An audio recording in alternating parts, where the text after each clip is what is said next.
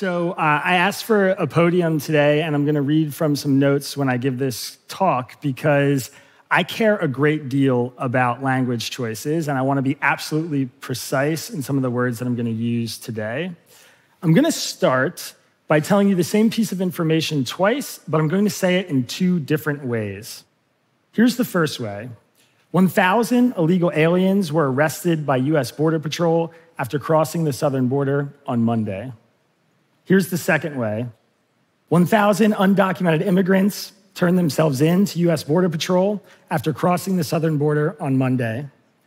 You may be able to see the difference between these statements.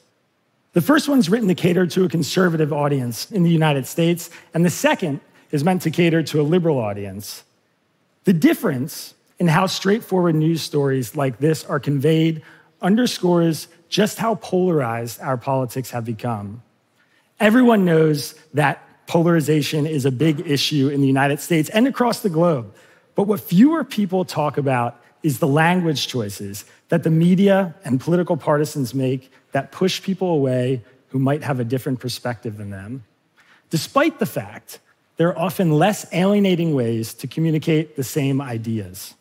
For media companies that thrive on engagement, those choices might be intentional. It doesn't matter if a news outlet loses half the country calling migrants illegal aliens, so long as it retains the other half. As individuals, however, we sometimes make those choices without even realizing it. I'd like to share some examples of language choices that I think signal what I call a political tribe. I'm going to start with some on the left equity, lived experience, oppression, Someone may be sharing their pronouns or talking about gender affirming care or using the term Latinx. On the right, you might see words like snowflake or deep state, mainstream media, alpha, illegal alien, woke, social justice warrior. For over a decade, I've been obsessing over language choices like this. I'm a politics reporter from Bucks County, Pennsylvania, a bellwether county in a bellwether state. And in 2019, I started an independent, nonpartisan news outlet called Tangle in response to the bias and partisanship that I saw flourishing in major newsrooms all across America. In fact, I started Tangle to solve the problem of what I like to call news polarization. I wanted to create a place where all Americans, from the most hardcore MAGA Republican to the most progressive, blue blooded liberal, could trust as a source of wide ranging perspectives and balanced reporting, and a place where an international audience could read about US news without the typical partisan slant. Our approach is simple it's just to share perspectives from across the political spectrum in language that reaches as many people as possible. But as you might imagine, we ran into some problems. Um, we found that while attempting to bring conservatives and liberals under one roof, we were often losing people before they even read the different ideas we were presenting. Early on, I would get emails from liberal readers saying they were unsubscribing over things like my use of the term pro life instead of anti abortion or anti choice. At the same time, I would get emails from conservative readers saying they were unsubscribing because I described abortion as women's health care, which made them feel like I was in the tank for the pro choice side. We realized that if we wanted people to actually hear arguments from the other side, we had to make some changes to our language choices. So I'd like to talk about how I navigate this problem of polarizing language as a reporter seeking to communicate with an audience from across the political spectrum, but also how I do it in my personal life. First, we really want to avoid making language choices that signal to people, you are not on my team. That's incredibly difficult. Immigration is one subject where news organizations most commonly signal tribe, like in our first example undocumented immigrant versus illegal immigrant. We know that a conservative might see undocumented immigrant and unsubscribe, suspecting that we're soft on immigration, while a liberal might see a legal immigrant and write in to tell us that no person is illegal before canceling their account. That leads us to our first solution. When possible, find a compromise. We settled on the term unauthorized migrant, a legal expression that seems not to offend the sensibilities of either side, instead, allowing readers to take in the arguments we're presenting while also accurately portraying what we're trying to communicate. Unfortunately, not every problem has a simple compromise. So let's go to a classic example. Abortion is a big indicator of political tribe. Is a person pro life for wanting to make the killing of a fetus illegal, or are they anti choice? Is another person pro choice for wanting a woman to be able to choose what happens to her body, or are they anti life? Ardent supporters of one side of this debate or the other will insist on using their preferred terms. So, what do you do? Solution number two we tend to use a group's preferred term. That allows us to maintain a neutral tone in the discussion and treat everyone's position with tolerance. Pro life people say they're pro life, so we call them that. Pro choice people say they're pro choice, so we say that too. We may use a term like anti abortion to describe a pro life group, but only if we've seen them use that language themselves, which, by the way, many of them do. We ran into a similar issue with the term Latinx a gender neutral word invented to describe people of Hispanic descent. In theory, it's a decent idea, but it has a major problem. The people whom that word refers to, people of Hispanic or Latin descent, they don't like it. I got emails and emails from Latino and Latino people telling me that when referring to the group, they preferred Hispanic or Latino. And that's not just anecdotal. Polling shows this too.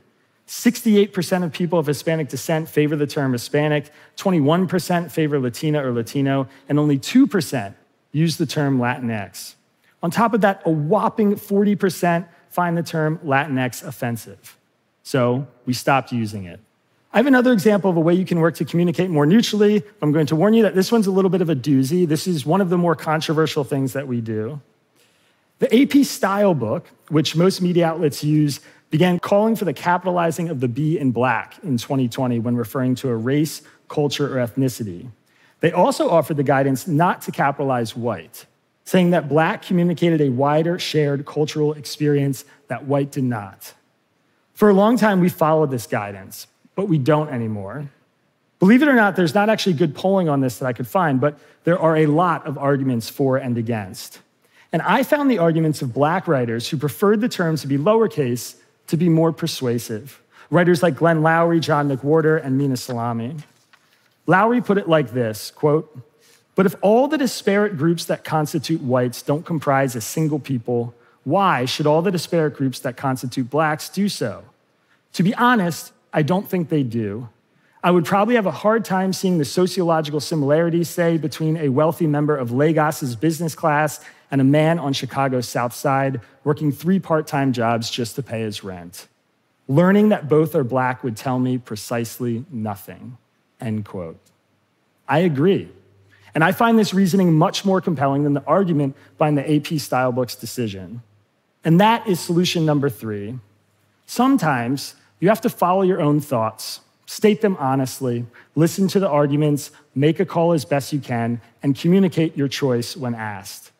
Language choices designed to connect people on all sides of the political spectrum will never be perfect, but we can try our very best. I believe it is our responsibility to connect with people outside of our political tribes, but that responsibility doesn't only belong to the people communicating the news. It also lies with you and with me, the consumers.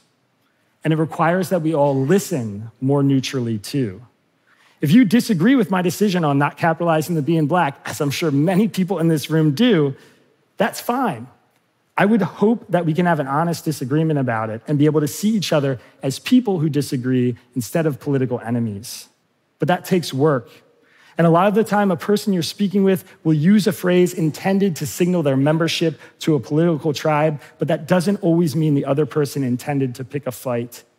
You can make the decision not to take offense by someone's tribal language choices and rather hear their intended meaning. Progressives or more liberal media outlets, for example, may center lived experiences or share the pronouns of authors, while conservatives and conservative pundits might riff about the deep state or the mainstream media. What's fascinating to me about these signals is that they often give extra meaning to mostly apolitical ideas. Deep state is really just code for a kind of sinister federal bureaucracy run amok, something plenty of progressives would be open to acknowledging if the wording were just a little bit different. Meanwhile, discussing lived experiences isn't about being extra sensitive to every transgression you've ever experienced. It's just another way of saying, these are the things that have happened to me, something that conservatives center in their politics all the time. And lastly, I think it's worth noting that sometimes a single word can mean totally different things to different groups. In recent months, one of the most controversial issues in the world has been Israel's incursion in Gaza. That has set off a debate about Zionism, a word that I've heard used as both a political term and a slur, depending on the speaker. I'd like to share three different definitions for the word Zionism that I could find. The first is a definition from Britannica, which broadly defines it as a Jewish nationalist movement. The second is from the ADL, which calls it a movement for self determination and statehood. And the third is a definition from Al Jazeera's website, which describes it as a colonial movement by any means necessary. Same word, three different definitions. Zionism is one of many terms that people have completely different definitions for. And if you're talking with someone who's using a term in a way that you wouldn't, a really simple and effective tactic is to ask them how they would define that term. That can be a good pathway to gaining mutual understanding, whereas not doing so is often a serious impediment. And if you're in the media, defining these terms in your writing is almost always helpful. Disagreement between two people over an idea can never be productive if both people are imagining the other is saying something that they aren't. So, how can you connect with people who think differently than you? For both media organizations and individuals in their everyday life, you have to be sincere. People know when they're being pandered to. You don't have to make everybody happy, and you don't even have to like the people that you disagree with. But you ought to try communicating in ways that more than one political tribe can hear you. And when the other political tribe is communicating, you should try your best to be tolerant of their language choices. That sometimes means calling a group something they prefer to be called, even if you disagree. And it often means really hearing the intentions of another person, even if they are using language that puts you off. The good news is that using more neutral language isn't always difficult, and tolerance is a pretty easy bar to clear if you try. So please, if you have some better suggestions for how to communicate and connect across the political spectrum, I'm all ears. I'm always open to ideas and changing my mind, and I hope you are too. Thank you.